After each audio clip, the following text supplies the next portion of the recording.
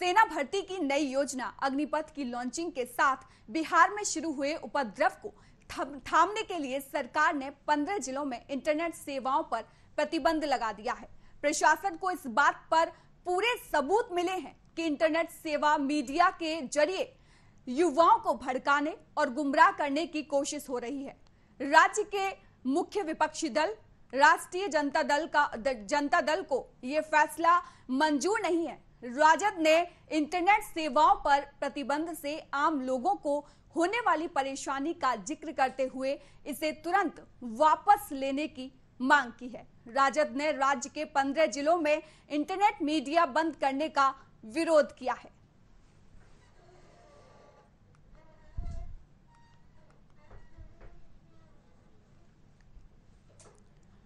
तो इंटरनेट सेवा जो बंद है, उसका आरजेडी विरोध कर रही है।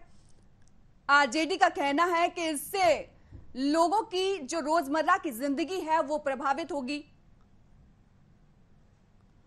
और लगातार बिहार बंद का समर्थन आरजेडी कर रही है। लगातार वो छात्रों के समर्थन में दिख रही है और सरकार का विरोध कर रही है।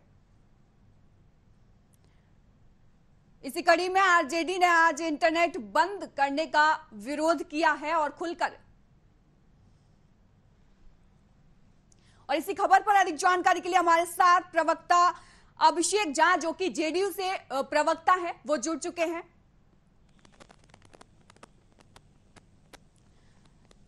तो सर स्वागत है आपका न्यूज़ वॉच इंडिया में।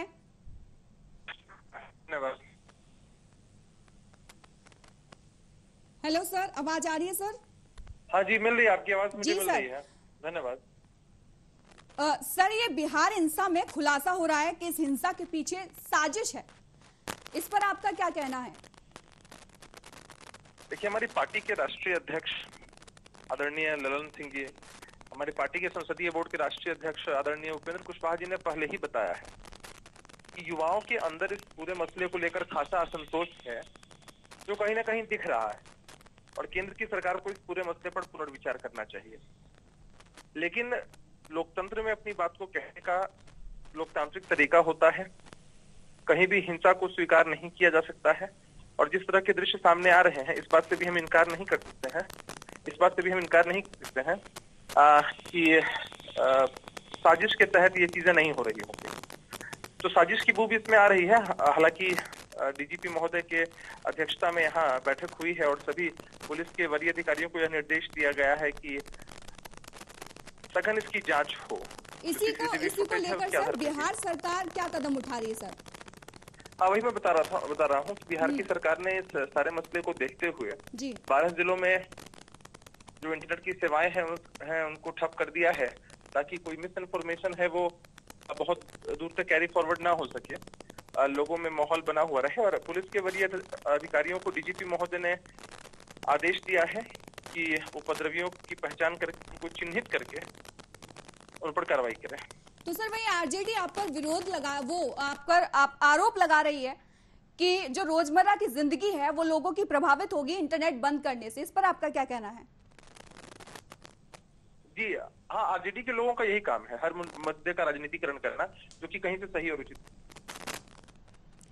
तो सर एक सवाल मेरा आपसे ये भी है कि बहुत लिमिटेड स्टूडेंट्स होते हैं, जो तैयारी करते हैं सेना की।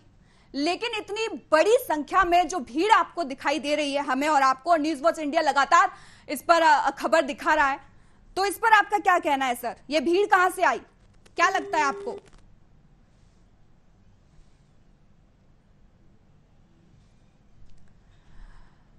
तो अभी अभिषेक झा से बात हुई, जो कि जेडीयू के प्रवक्ता थे, उन्होंने बताया कि सरकार हर कदम उठा रही है, जिससे कि बिहार में जो हिंसा है, उस पर रोक लगाई जा सके और हिंसा ना भड़के। और इसी को ध्यान में रखते हुए इंटरनेट सेवा बंद की हुई है। वहीं आरजेडी का कहना है कि इंटरनेट सेवा बंद करने से जो आम लोग हैं, उनकी रोज़मर्रा पर ज़िंदगी पर प्रभाव पड़ेगा, और ये सरकार ने गलत किया, ये आरजेडी आरोप लगा रही है सरकार पर। वहीं बिहार में चौथे दिन भी प्रदर्शन जारी है। प्रदर्शन रोकने को, रोकने की तमाम कोशिशें की जा रही हैं। लेकिन फिर भी प्रदर्शनकारी कुछ भी समझने को तैयार नहीं है। लगातार हम न्यूज़ वॉच इंडिया पर आपको तस्वीरें दिखा रहे हैं। कहीं ट्रक में आग लगाई जा रही है तो कहीं ट्रेनें फूकी जा रही हैं।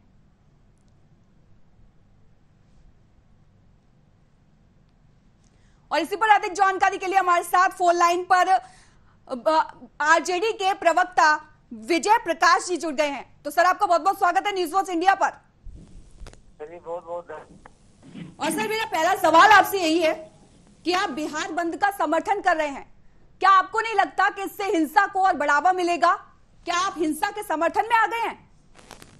जी नहीं नहीं मैं तो हिंसा के समर्थन में लेकिन नौजवानों के भविष्य के साथ जो है खिलवाड़ जो हो रहा है उसके समर्थन में हम लोग हिंसा करने वाले लोग नहीं हम लोग गांधी विचार के लोग हैं हम लोग गोडसे विचार के लोग नहीं है।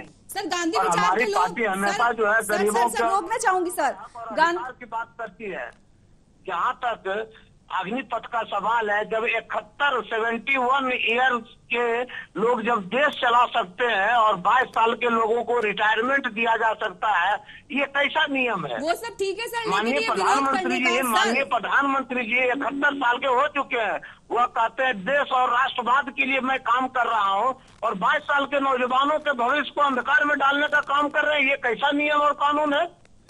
वो बात सर सही है लेकिन ये कौन सा तरीका है? विरोध करने का कि सरकारी संपत्ति को नुकसान पहुँचाया जाए ये कौन सा तरीका है सर? मैं मैं सरकारी संपत्ति के नुकसान के पक्षधर नहीं है लेकिन समझिए कि नौजवानों में क्या उबाल है क्या गुस्सा है इनके प्रति प्रधानमंत्री के प्रति।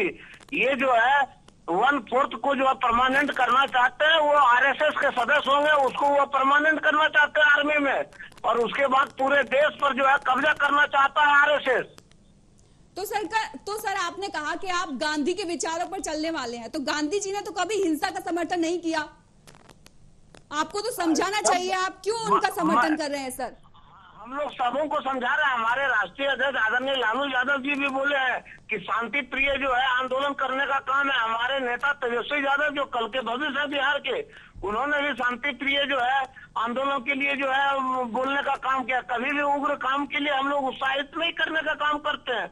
लेकिन नौजवानों में इतना गुस्सा है। नौजवानों का नेतृत्व करने वाले कोई नहीं है, जिसके कारण कहीं ना कहीं जो है वो लोग घटना दुर्घटना कर दिया कर देने का काम कर रहा है। तो सर आपका आगे की रणनीति क्या है? कैसे मामला शांत हो? क्या चाहते हैं आप सरकार हमारी से?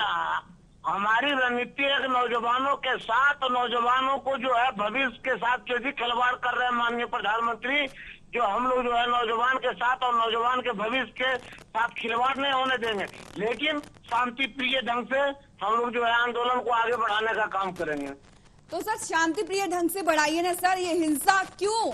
यही सवाल है मेरा आपसे।